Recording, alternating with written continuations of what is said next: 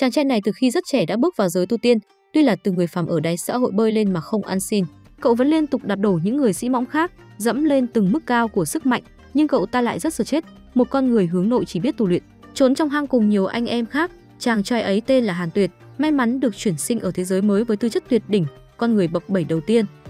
Tiếp tập trước, Hàn Tuyệt vừa nhận được món quà nhiều công lao lớn thì hệ thống thông báo tìm được người có tiên thiên khí vận ở bên ngoài. Hàn Tuyệt kiểm tra xem lai lịch tên đó như thế nào, cậu chỉ mong không phải là một tên chuyên gây chuyện.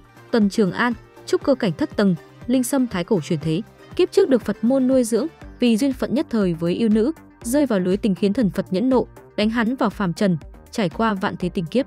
Chỉ khi triệt để quên tình, đoạt tình mới có thể thoát khỏi nỗi khổ luân hồi. Bây giờ hắn đã chuyển tới lần thứ 49 nhưng vẫn ngựa quen vợ cũ, mắc vào lướt tình nhưng mà bị từ chối. Đau lòng qua thành Z boy, nên khuyến cáo anh em KHONGDUEC làm như Tuần Trường An. Hắn mong muốn tìm đến Hàn Tuyệt để chuyên tâm tu luyện quên đi người tình trong mộng trà tối chẳng ngủ được, mà còn có nhắc nhở đặc biệt, linh sâm thái cổ có thể tăng cường linh khí thiên địa trong phạm vi nhất định. Đây cũng là lý do tại sao thiên tư của Tần Trường An lại tuyệt luân. Hàn Tuyệt có chút hứng thú rồi đấy, máy tăng linh khí chạy bằng chất đường bột, lại còn đặc biệt tìm đến nam chính, dạo này tiếng tăm của cậu có chút thay đổi rồi. Ở bên ngoài, Tuần Trường đã tìm đến động phủ của Hàn Tuyệt, đứng trước tấm bia khắc chữ khổ tu thành tiên làm hắn càng thêm khâm phục về người khổ tu số 1 Đại Yến. Người có thể giúp mình thoát khỏi bể khổ của một kẻ si tình, lý thuyết là thế nhưng Tuần Trường An đến đây, trong vẫn không xóa được bóng hình của cô ấy, càng nghĩ càng quẩn. Tuần Trường An hạ quyết tâm thoát khỏi hình ảnh của một con chó với đuôi, hắn cúi người lớn tiếng gọi trưởng lão Trảm Thần, nhưng một tiếng trôi qua vẫn không có động tĩnh gì.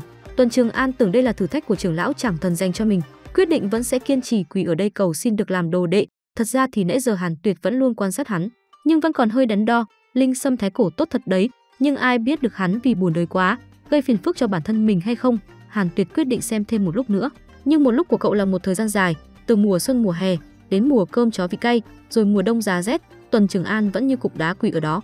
Người quỳ lâu như vậy không mệt à? Một tiếng gọi bên cạnh Tuần Trường An, cứ tưởng là trưởng lão trả thần ai ngờ đó lại là Mạc Trúc. Tuần Trường An vẫn không cảm thấy mệt, nhìn cô gái này tưởng là trưởng lão trả thần, Mạc Trúc vội phủ nhận, rồi đi gặp Hàn Tuyệt, nói với cậu ta ý định đi theo người anh trai Mạc Phục cầu rơi vào ma đạo, chỉ vì nỗi ân oán từ nhiều năm trước của gia tộc.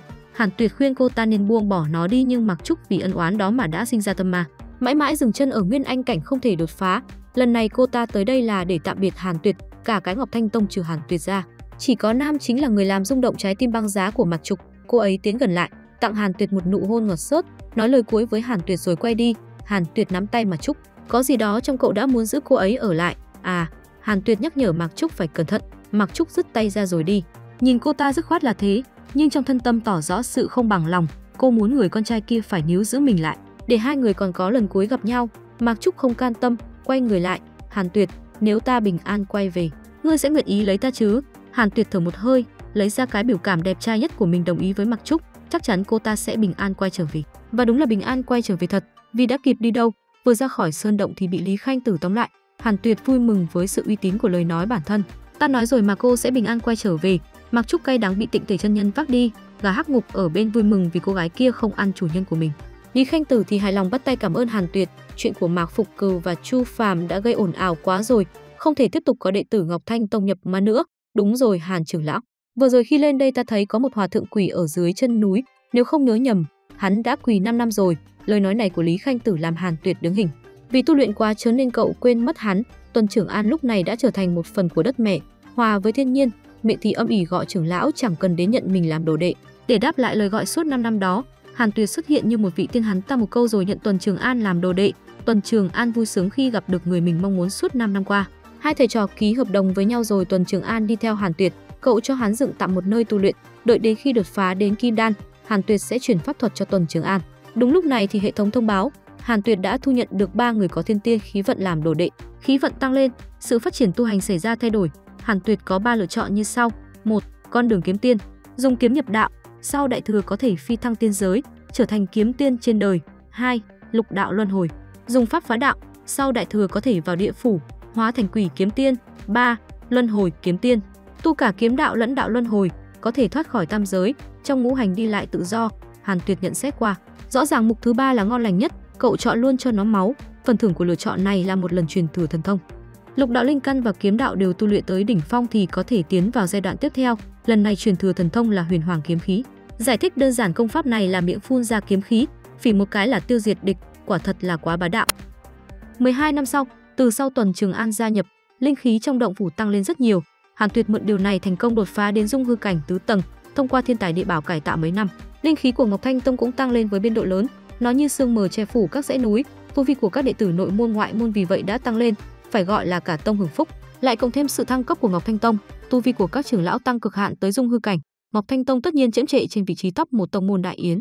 Còn về chuyện Hàn Diệt sao lại biết rõ tu vi của mọi người đều tăng lên, đó là vì cậu có vòng bạn bè, nhưng bây giờ bạn tốt là quá nhiều, nhiều năm tích lũy lại. Số bạn bè trong ao hồ của Nam Chính đã đạt tới số lượng khủng khiếp, nó không chỉ làm cậu không xem được, dối bời đến nỗi tu luyện cũng không nổi, mà bây giờ hệ thống đã có tính năng mới. Ấn vào phần chú ý đặc biệt bên dưới nick nhân vật thì không cần lo lắng sẽ bỏ qua trạng thái của bạn tốt, nhưng vấn đề là từ trước nó không có, bây giờ mới có làm Hàn Tuyệt tức điên lên.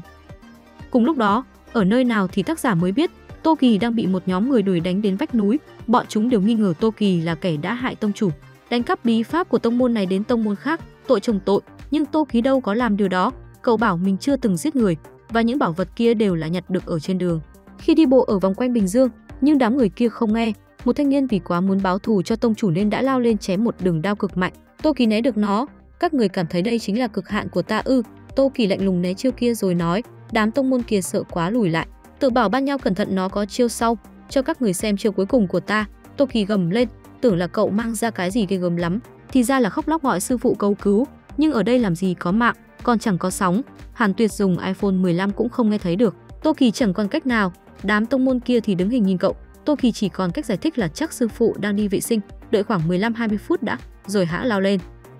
Thật ra thì ở một bên khác, Hàn Tuyệt vẫn đang sửa sang lại vòng bạn bè để cho nó thoáng sạch sẽ, nhìn lại những sự kiện của bạn tốt, Hoàng Tôn Thiên thì bị tu sĩ đồng môn đánh lén, Cửu Đình chân nhân may mắn cảm ngộ tuổi thọ tăng thêm 300 năm, Thiên cầu hỗn độn bị ma tu và cho sấp mặt và đi rồi lại và lại, Chu Phạm thì bị tu sĩ chính đạo đánh lén, Chu Phạm bị thương, tính mạng nguy hiểm, đã nguy hiểm rồi lại còn bị Đạt Tuyết Tông hành hạ, Dương Thiên Đông bị yêu thú đánh lén đến 3782 lần, đánh nhiều quá khiến hắn giáp tỉnh huyết mạch yêu thánh.